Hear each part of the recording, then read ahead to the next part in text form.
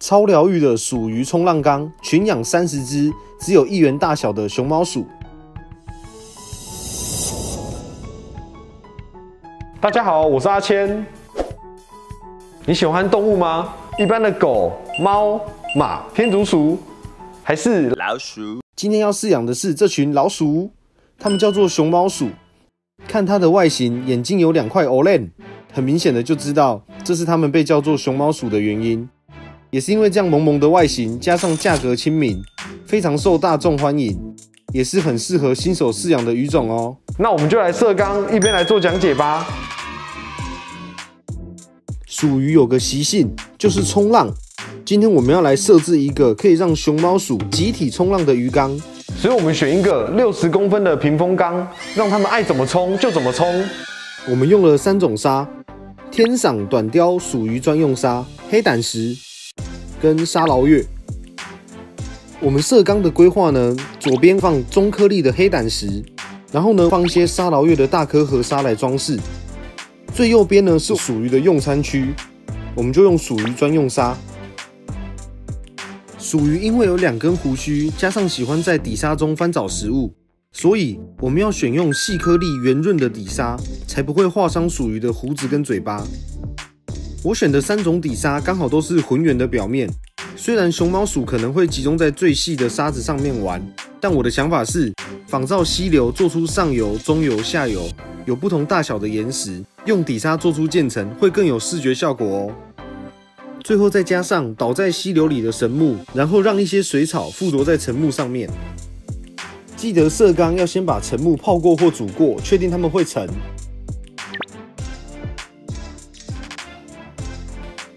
这个呢是鹿角铁皇冠，还有呢这个是小龙，是阴性水草，光照的需求量小，好养好种又好看。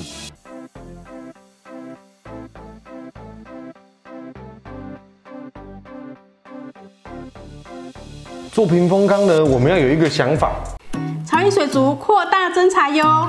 如果你对水族有爱，非常有兴趣，喜欢玩水摸鱼的潮友们。都非常欢迎你们加入哦！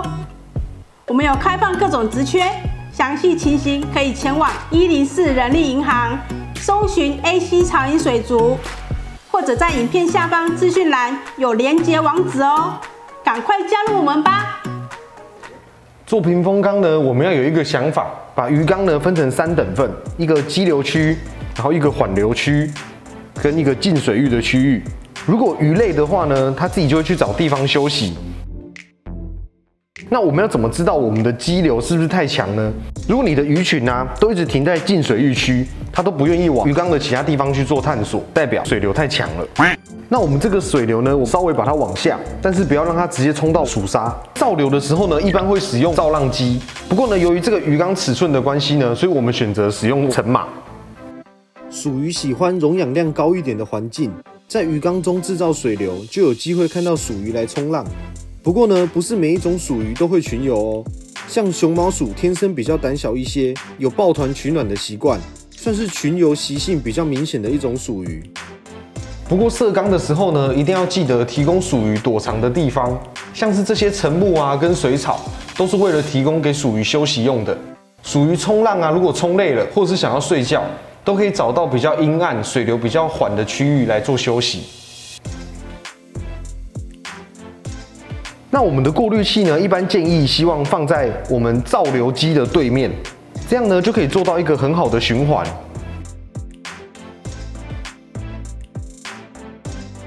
别人是天竺鼠车车，你养熊猫鼠车车，一样可以看到它们集体飙车哦。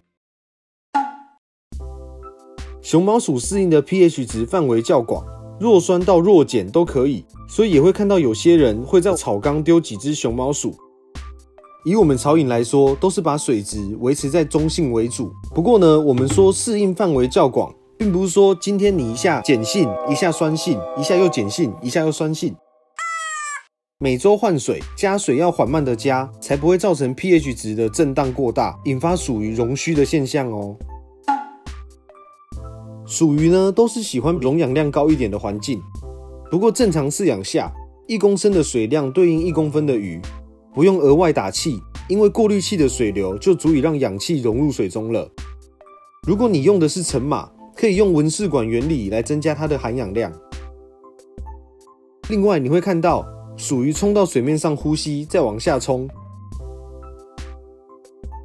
这个叫做长呼吸，是它们的习性，不是因为缺氧哦。要比较注意的是，长期饲养来说，比较建议恒定的温度大概二十七度左右。现在我们看到的熊猫鼠，最大可以长到三到四公分左右。一般来说，我们在水族馆可以买到的尺寸大约在两公分左右。新手上路的话呢，这样子的鱼缸建议养十五只左右，才不会翻车哦。今天饲养的老鼠不会煮菜，也不会假晒，它只会吃蚕饵。但是我还是推荐要健康的饲养，定时喂一些属于专用的沉底饲料。